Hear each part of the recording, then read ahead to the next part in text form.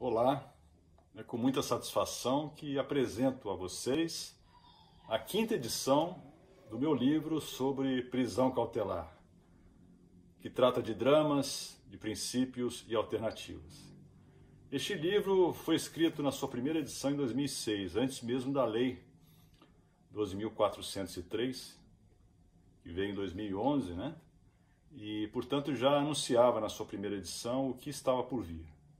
E nas sucessivas edições fui aperfeiçoando e após ingressar no Superior Tribunal de Justiça, pude qualificar a obra com jurisprudência relativa a cada item do livro. O livro trata inicialmente do sistema de justiça criminal, da, do processo penal seletivo, trata da parte histórica de todo o surgimento das prisões no Brasil, a maneira como foi evoluindo o tratamento jurídico normativo e evolui para a análise da Lei 12.403, sobretudo análise da prisão preventiva, da prisão temporária e das medidas cautelares alternativas à preventiva. Né?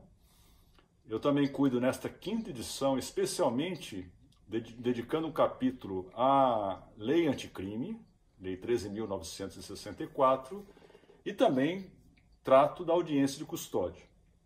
O livro tem o adorno de dois eminentes ministros do Supremo Tribunal Federal, ministro Sepúlveda Pertence, que fez o prefácio desde a sua primeira edição, e o ministro Luiz Roberto Barroso, que faz o pós-fácio.